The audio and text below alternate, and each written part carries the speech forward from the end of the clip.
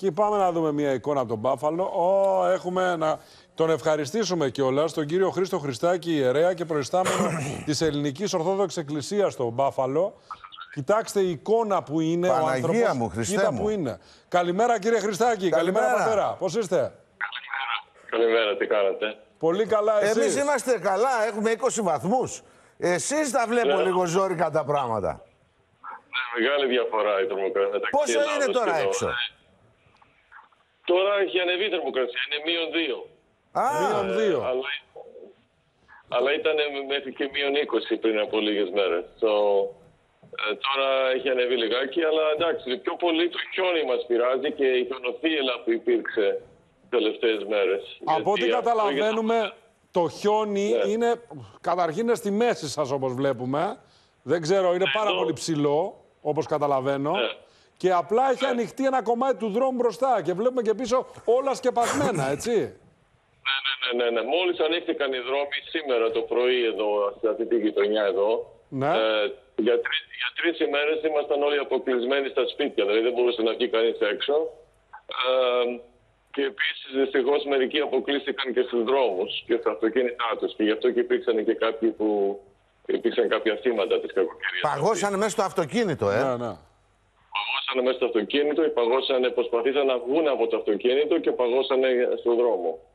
Ή κάπου έξω. Μιλάμε, στη Τραγικές. δική σας περιοχή μιλάμε για 28 νεκρούς, αν δεν απατώμε, ε, που ανακοινώθηκαν. Πολύ μεγάλο νούμερο, πάρα πολύ μεγάλο νούμερο. Ε, ρεύμα, τέτοια πράγματα έχετε, όπως βλέπουμε. Δεν ξέρω αν είχατε πρόβλημα τις προηγούμενες ημέρες. Πώς είπατε; δεν σας Λέω άκουσα. ρεύμα, βλέπω ότι έχετε τώρα. Ηλεκτρικό. Ηλεκτρικό. Εμείς, έχουμε- εμείς δεν, ναι. ναι, εμείς δεν χάσαμε το ρεύμα, αλλά υπήρξαν ε, αρκετές χιλιάδες που, χα- ε, ε, σπίτια που χάσαν το ρεύμα εδώ στην περιοχή. Αλλά και αυτό είναι πρόβλημα φυσικά με τις θερμοκρασίες αυτές. Ναι. Αλλά ναι, εγώ δεν έχασα το ρεύμα. Εμείς δεν χάσαμε το ρεύμα. Πείτε εδώ. μου κάτι. Αλλά και αυτό το Δεν είναι πολύ Ναι. συνηθισμένο αυτό, έτσι. Δηλαδή δεν, ε, δεν έχετε συνηθίσει εσείς να έχετε τέτοια πράγματα; Ή είναι κάθε, χρόνο, κάθε χρόνος, ας πούμε, απλώς φέτο ήταν λίγο παραπάνω; Όχι, αυτό είναι ακραίο, πολύ ακραίο. Αυτό είναι το πιο, πιο- το πιο ακραίο φαινόμενο τέτοιου είδους εδώ στην περιοχή αυτή. Ε, το Μπάφαλο έχει χιόνι αρκετό, ε, γιατί είναι δίπλα στην λί- λίμνη Ήρη, η οποία επηρεάζει τα καιρικά φαινόμενα, αλλά όχι τέτοια. Αυτό είναι η πρώτη φορά που συμβαίνει στον αιώνα αυτό κάποια... Και όχι τα τελευταία 100 χρόνια δηλαδή, η πρώτη φορά που Κατάλαβα. συμβαίνει κάτι τέτοιο. Δεν μου λέτε, πώς, ε, εσείς είστε προϊστάμενοι της Ελληνικής Ορθόδοξης Εκκλησίας. Πώς, πόσους έχετε, πόσους Ορθόδοξους έχετε εκεί, Έλληνες και Ορθόδοξους γενικώς; Εμείς έχουμε περίπου, η κοινότητα του Μπάφαλο έχει περίπου 600, 600 οικογένειες, 600 ελληνικές οικογένειες ορθόδοξες. Δεν σας αναφέρθηκε μια- κάποιο πρόβλημα σε ελληνικές οικογένειες; Όχι, ε, είναι όλοι καλά, επικοινωνήσαμε με όλους. Ε, υπάρχουν κάποιοι που είναι ηλικιωμένοι και είναι μόνοι στα σπίτια.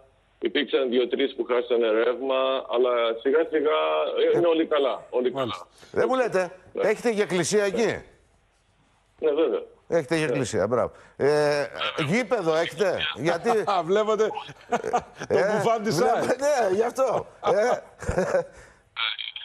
Ε, και γήπεδο έχουμε και ποδόσφαιρο παίζουμε και τα πάντα παίζουμε. Αλλά ναι, εγώ είμαι.